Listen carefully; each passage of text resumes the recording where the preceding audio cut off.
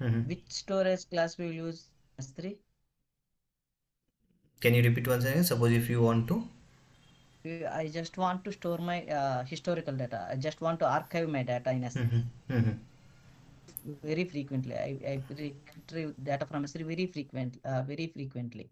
Mm. Okay. Mm. So which kind of uh, storage class uh, will you prefer to store the such kind of data? Yeah, mostly we'll go for the S3 uh, S3 bucket where we will uh, update uh, uh, like uh, static data and all there. So Yeah, S3 only. In S3, which which storage class? There are several storage classes in S3 itself, right? yes, yes.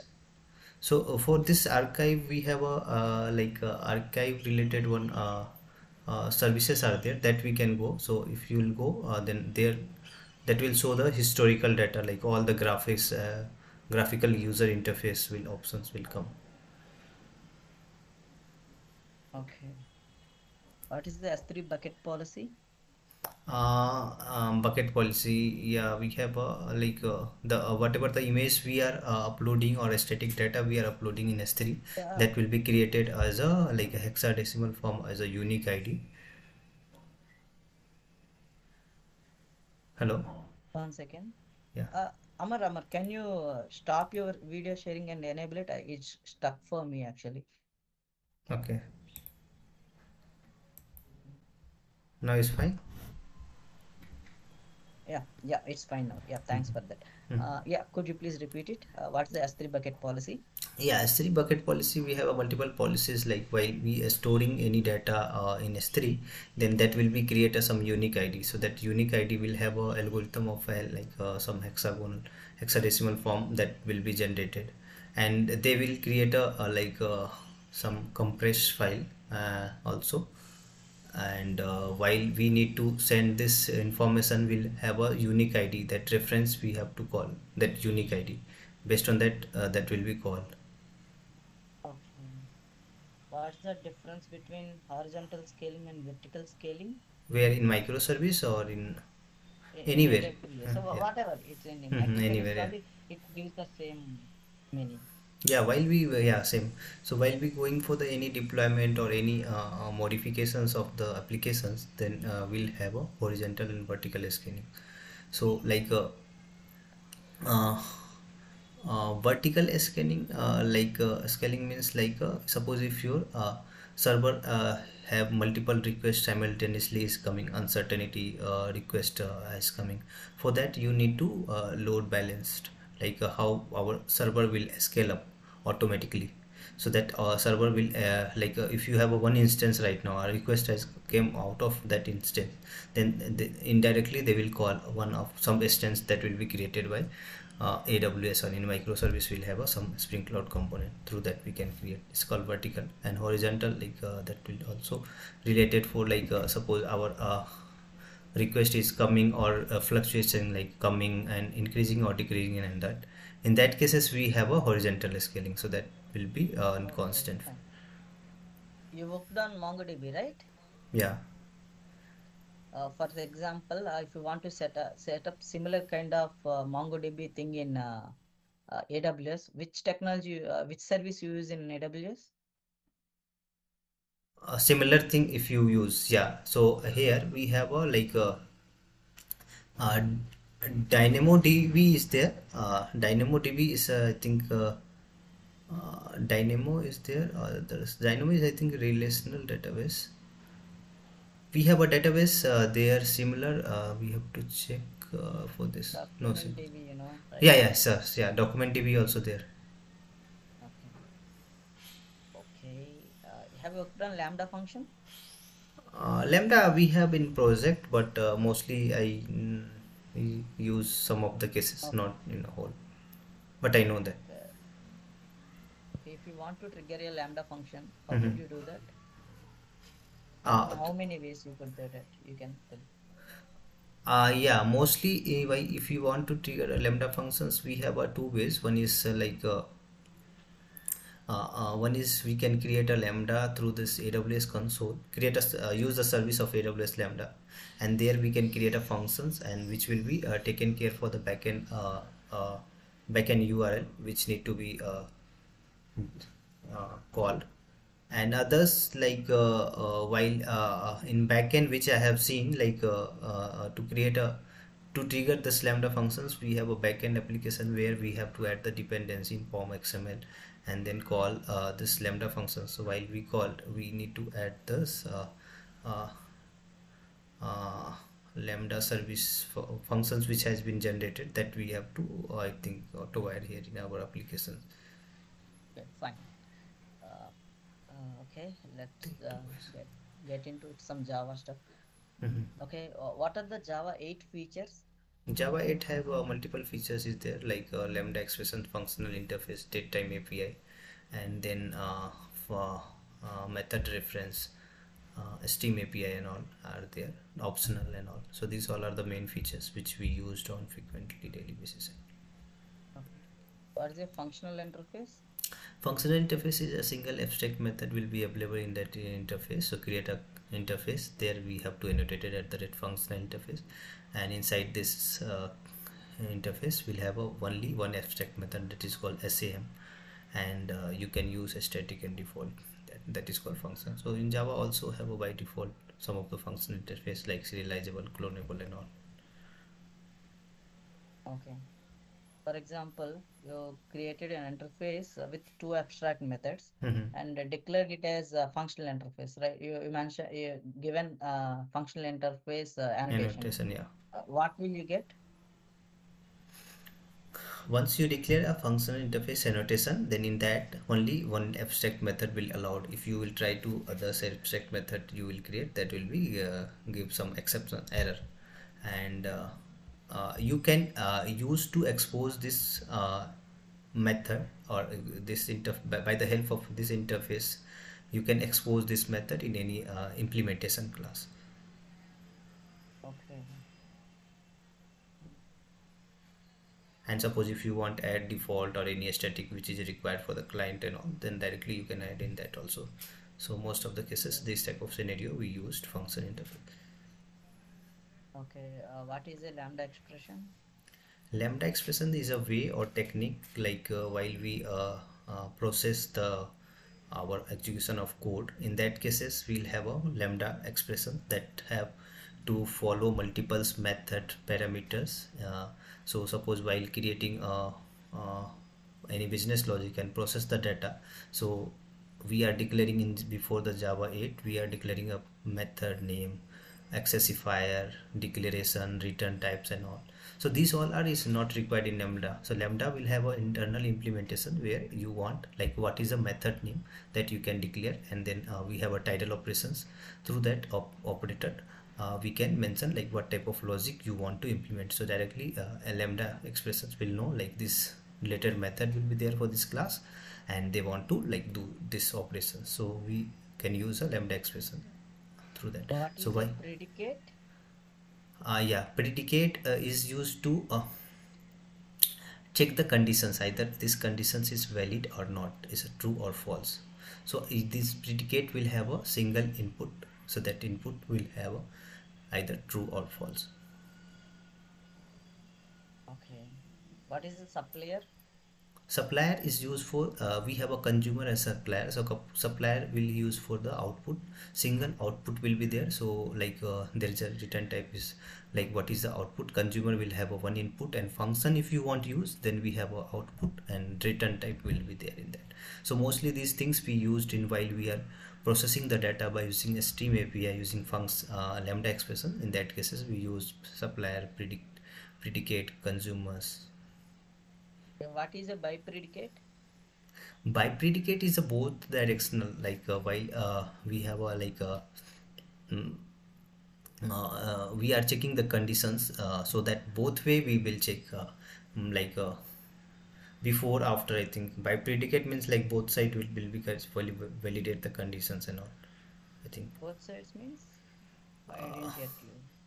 Um, i heard but right now i'm not sure but i think uh, um, both way applicable for this validate the conditions not sure. uh, you know about int predicate int int predicate Yeah, int predicate will check like uh, uh, validations of either true or false related for integer type, not any string or any uh, other conditions. Okay. Uh, what is a stream API? A stream API is a way to process the data by using lambda expression. So uh, oh, like we have a list of employee details then stream api will have a like uh, uh, will have a process like to using a map flat map and then uh, like uh, lambda expressions filters and other method many methods are there. Through that we can process the uh, our expressions easily or very fast way. How can you get a stream? How can we get a stream Yeah. uh, yeah while we used java 8 uh, there java 8 inbuilt library is there so uh, that uh, if you call uh, jdk or JB, jre so there uh, will have a, uh, streams uh, features are there so directly you can use the Okay. streams For example, okay. For example, you Mm. have a array list. Mhm. Okay. Mm. How can you get the uh, stream for that array list? okay and that is stream for the array list yeah so we have array list. So we will mention like a in the array list is a list type of interface like a reference. So list dot stream and in that conditions if you want a filter then you can add a filter then we have to map uh, so that map will uh, process the data whatever the, the stream has been processed that will be converted from one to another form one form to another form in map. And then we have a collector. So through that we will collect the data either which form is a two list or other list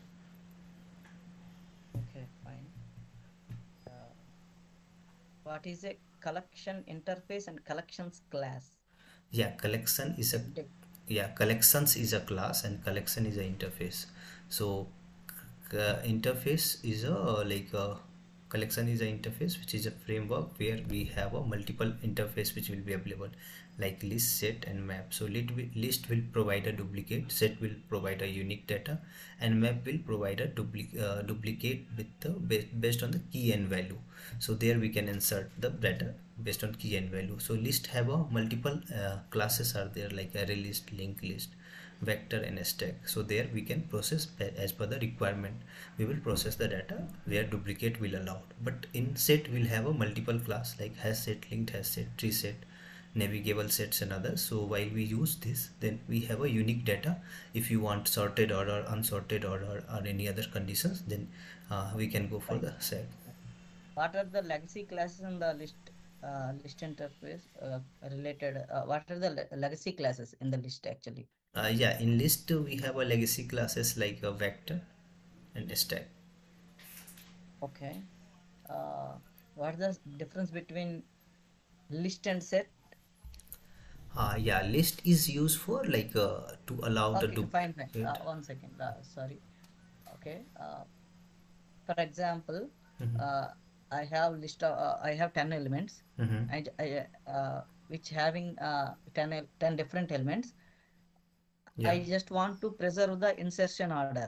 Mhm. Okay. Which one uh, you should uh, choose, list or set?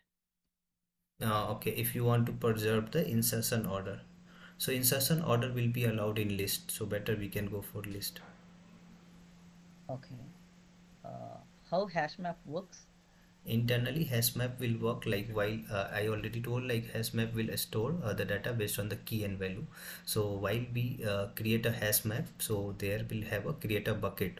So if you'll go for internal implementation that will be the size of 16 so which will be a start from index from 0 to 15 and uh, there if you want to uh, uh, add any element in hash map then they will internally create a two things. One is a equals method another is a uh, hash code. So while uh, suppose we have a key multiple key will be there that all key is a unique. But maybe with the, the same of key will have a different uh, duplicate value will be there. So while we insert the data like one is a Amarjit then that will be a store uh, that will be create a hash code and a store in index of one. Again we have a one is a, uh Kumar. So that will be go for like the same index but there will be some linked list linked list which will be like we have a same hash code and then they they have to check the equals method. Is the content is same if same then already inserted. If not content like value is different then that will be stored in the next node where the same index of next node that is uh, that's why we have a hash code and equals method which will be there in the Okay. hash map implementation Uh, okay. What are the Spring Core annotations? Can you give a list of Spring Core annotations? Yeah, Spring Core annotations mostly will have a like a controller, REST controller, uh, uh, request mapping, component at the rate component, repository, and then service at the rate service and all. And uh, if you want any other configuration, then this type of uh, config at rate configuration, these things we have a Spring Core annotation. A, a Spring MVC uh, we used What are the stereotype annotations? What are the stereotype? yeah, these all are the like at the rate service, at the rate uh, repository, at the rate uh, co- component, uh, and uh, controller. These all are the stereotype annotations, which will be added on the class level. And while we use, then that class will be behavior like that. Okay. How can you uh, how can you achieve Spring security? Uh, Spring security we can achieve by using three ways, multiple ways, but mostly three ways which I have. Like uh, one is uh, enable web security adapter, which has Spring on build automatically is there. Suppose you create a class in in that extend the enable web security adapter, so that will be give give you the role based authentication, role based user authentication authorizations and all. Others we have a JWT that if you want to use JWT, there's a web tokens will be generated while we need to communicate from one API to another API. So that tokens will be generated and then verify the users and again after that tokens will be generated and sessions will be created. You can use the JWT token uh, uh, that bearer token and all. Other we have a UAA and others two-factor authentication. So Okay. through that we can do. Fine. What is the executor framework? Do you know about executor framework? Uh, executors mostly we use when I was on banking. Uh, there we used executor framework while uh, we need to, uh, create a thread pool of the multiple executions where uh, our multiples uh, process will be started, and there we can create a like a executor framework which will be execute like what type of like process need to be started. That we have I think done through the executor and thread pool. Okay. What's the difference between callable and runnable? Uh, callable and runnable both are the uh, like uh, in uh, thread um, thread in the inside the thread class we will use runnable is used uh, uh, in, uh, is used for the uh, run uh, while if you have created a thread and then we can run this particular thread and callable is used to call that so while call that will be thread uh, which will be there in the particular uh, state not in the uh, running state that is called by this that may be in the wait, waiting conditions or maybe execution conditions but uh, call runnable will be uh, run in conditions so that will be in execution Okay. What is the difference between runnable and uh, runnable interface and class? Uh, yeah to thread class is uh, both are the we used in the thread. So thread class we can extend while, while we created any thread in that we can extend the, the custom thread then we can extend the thread class so while you extend the thread class at a time only one class you can extend. But if you use implementation of runnable interface then you can extend the multiple time of like uh, more than of one class like you can implement or extend there so better we can go for the runnable interface while you use any custom thread creations and all. Okay. Yeah. Fine, Amar. Uh, good for now. Yeah. Uh, yeah, uh, done with the interview now. Uh, we, our team will reach out for the further discussion. Yeah. Okay, Uh, so do you want to know anything? yeah, so for which which client you are hiring and what all uh, the technology Actually, I don't know for the which client, but Mhm. it is uh, specific for uh, Java and AWS. Mhm. Uh, they're uh, looking for both Java and uh, who knows Java and AWS very well. there? Mhm. That may uh, so yeah, we're looking for them actually. Okay, and how many rounds will be there? I don't know. I think uh, do you have any rounds earlier from the No, not at first. to this? No. Okay, this is the L1. Hmm. I think it would be two. Yeah, our Okay. team will reach out for the. Sure, Yeah. sure. Thank you, thank you for that. Thank. Yeah, Thank you, Amar. yeah, thank you. Thank you so Nice talking to you. Have a great day. Bye. Same to you. Bye.